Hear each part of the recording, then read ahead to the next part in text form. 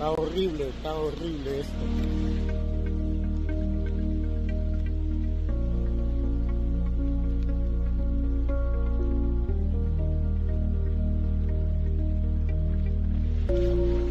Este fue el árbol que nos cayó acá.